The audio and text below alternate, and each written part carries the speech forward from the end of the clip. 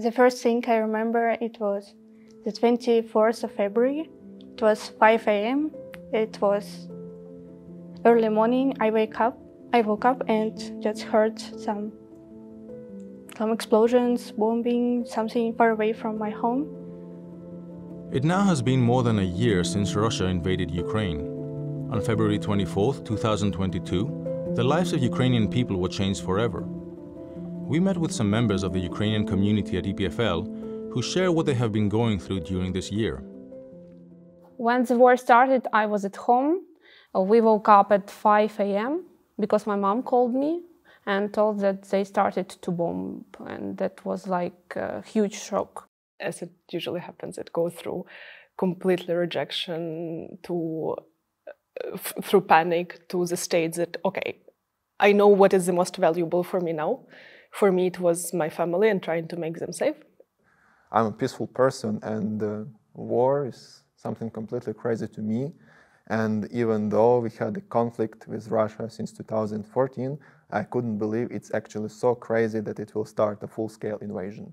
And I think that day and the day after, like I was just uh, totally out of my mind, just frozen to the news and not even being able to eat or even drink water.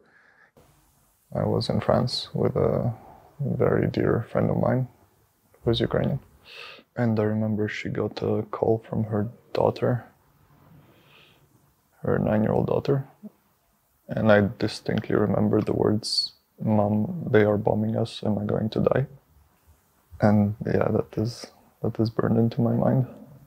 I looked uh, from the window and uh, I saw that it was just regular morning, but uh, everything changed. It was impossible to take a bus, taxi.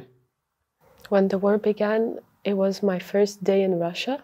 I mean, it was a really weird time. There were a lot of tensions, um, and I saw that they they started bombing Ukraine when while I was asleep, and uh, my mom was in Ukraine at that time, well at, at home, and uh, yeah, I just started crying. I was, I was, I don't know, I was in shock. I think like some of the people was already anticipating that it can happen, but despite of all of it, it's uh, happened suddenly. Everyone tried to do what they can, and uh, I think also everyone was like just uh, afraid about their families and relatives. I had to leave my city, um, my lively city, Kharkiv. So now I'm living in Switzerland, in Lausanne. My mother, two sisters, now they're living in Germany. Um, my grandmother, father, and brother, they are in Kiev. Our men, they cannot um, leave Ukraine. They have to stay and probably fight for our freedom. Physically, I'm very blessed to be in Switzerland and to be safe, but mentally and morally, I'm quite, uh, I'm not okay. It's like one year of war has already passed, and I kind of managed to find some balance for myself. But the fact that I'm showing up at work and doing something doesn't mean I'm okay inside, because to be honest, I have never been fully okay since the first day of war. The thing is, what you can see from the news, I, I, I experience it like secondhand because I hear this from all my friends and family who are back home. So, my own family, we are separated in different countries. And for the people I know, a lot of them have joined the military a lot of them did so voluntarily, and I worry a lot about them, and I try to check in on them every every other day to check if they're fine or if they need something. When I went to catch a train, I thought that we will go with my husband, but, they didn't let him get on the train even. It was accidentally my mom jumped in the train with me because I couldn't carry a baby and the luggage and everything else. And she jumped with me with nothing and we, we left Ukraine. My dad, uh, my husband, uh, all of them are in my city, where I'm from, in Poltava. Um, thanks God, we have a good internet connection. That's the most important, uh, but still, uh, it's not the same. The most difficult time it, uh, for me it was in the beginning of the war because Russia was very close to the Kiev, and I know that my parents will not leave the Kiev There was a period of time when, when my parents just have like three hours or four hours per day for heat and electricity. They don't have an internet or something to to speak with you, and it was like for several days. What I st- still can't quite wrap my mind around is after it began, still a lot of my Ukrainian friends were trying to convince me that it would end soon. My friend waited something like two months or three months to get her daughter out of the country. Just out of conviction that it was going to end. To me, that speaks to how how impossible it is to believe that something is happening, even when it is. My grandparents are, are in Kiev. They don't want to leave. I mean, it's like all grandparents, they, they don't want to go anywhere. They're in the, the center of, of Kiev. So, I mean, I call them a few times a week. Uh, they're staying at our house because it has an underground. They live there with our cat so they have some company. One of my brothers he stayed here, was welcome in Swiss school, and was studying here for with very nice uh, circumstances. And another brother was uh, accepted to EPFL, and he can continue studies, as as we said, that what is very important for the young generation. I had to help my family member to come here, and as a part of the trip, I was going to Poland to pick my family member.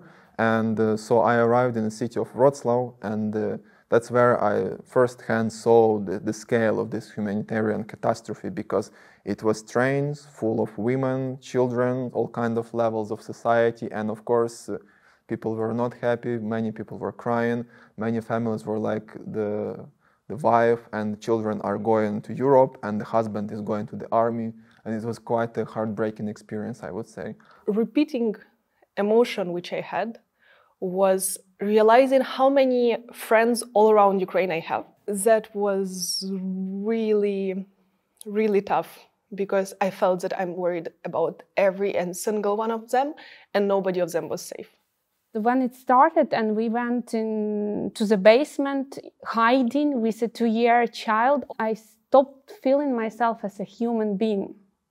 I was uh, as an animal, scared animal that was frightened. We got this train with my mom, and I remember uh, that was evacuation train that I'm going to remember for all my life. All carriage of this train were full of kids, and you cannot explain them why it's night, why cannot you switch on the light. They were crying and you don't know what's going on, where is bombing, and you can do nothing. Even they bomb us, I can do completely nothing. We mean nothing. That's the worst feeling in my in my life. I got an email from my supervisor, professor in Ukraine, so that EPFL uh, invites all students uh, to come to Switzerland and continue their studies here. When I arrived to EPFL, the first thing I saw it was Rolex Center. It's, it reminded me of cheese, Swiss cheese. When I first came to EPFL, I still couldn't believe that I'm here. I applied um, to Excellence in Engineering at EPFL internship program a few months before Russia invasion in Ukraine. This internship can be a good opportunity for me to avoid difficulties of far. I remember the transition from first being completely strange to this place. And right now, especially War showed me how many deeply reliable friends I, I managed to, to find here. Those hundreds of friends whom I have when they write about bombings, I cannot completely relate. And that's why I feel slight distance to them at the same time, being abroad gives another opportunity to help. I was very happy to come to EPFL because that was part of fulfilling my long-term career goal to become a chemist. So I studied bachelor in Ukraine for chemistry, and then I did masters in France, and then I came here And when I came here, I felt like it, it, was a good place to fulfill my goal. It helped me a lot from my mental health that I still have this position. So it gave me the everyday routine that I had to get up and go somewhere and at least try to do something. If I didn't have this, it would be much worse for, for, for my mental health. Well, when I first came back from Russia to, to EPFL, everyone was studying like nothing, nothing was wrong. And all I was doing was was scrolling on my phone, reading the news, and calling my grandparents to see how they're doing. And when when I was in in class, I used to get like a text from my grandparents. I mean, usually it's normal, but here, whenever I got a text from my grandparents or a call, I would jump out of my seat and go out of the class and be there like, "Are you okay? Is everything fine?" Um, because every time they they call you, you think it's like something something's wrong and everyone around me was calm and that made me really angry. I was i was really angry because i didn't understand why we deserved this and like everyone else was living their life like nothing had happened. This war it didn't come out of nowhere. There was already a tense situation between russia and ukraine since russia invaded crimea and started war in donbass. So in a sense i feel this international response kind of delayed because uh, if we were provided with all this equipment and ammunition right after 2014, I have a feeling that this war might have never happened.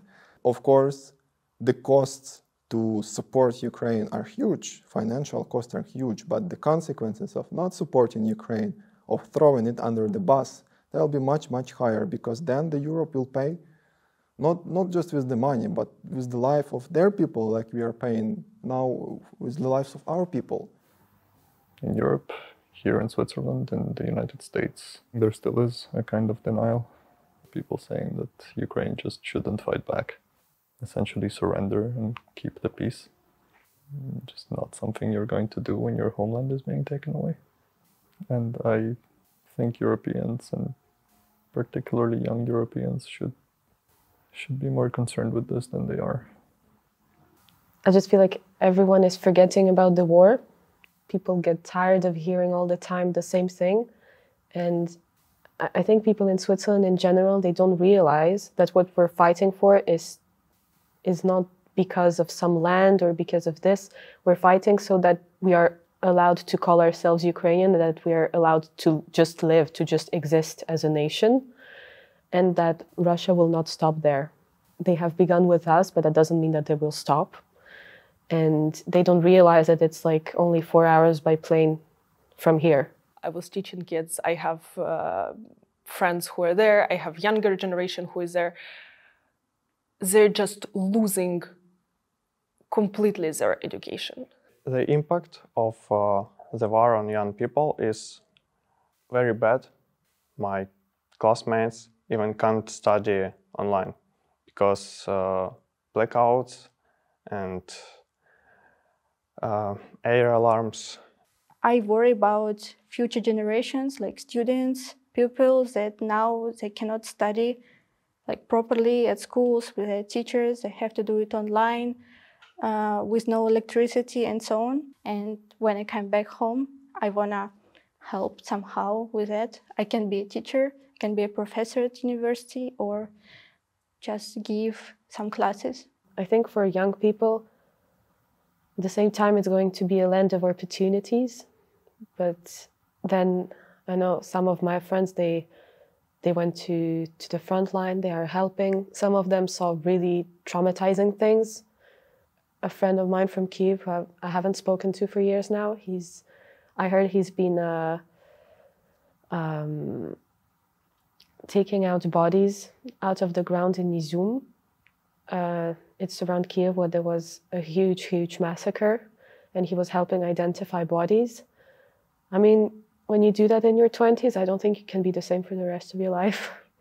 And in comparison with people at EPFL who just, the most important thing is not to fail your exams, I mean, that's, uh, it's very harsh. Everything that I want to do now, it's come back in a peace and because I really love my country and I want to go home with my experience, my knowledge uh, to give advantage for another generations to live in peace. What I learned is to use my anger as a driving force to do something. And I want to contribute to reconstruction of Ukraine with my knowledge and uh, with my labor. Good things which can happen to Ukraine will happen because of people now and in the future, both Ukrainians and foreigners. As a Ukrainian, I must not give up, but I want to be prominent and successful and contribute to my country.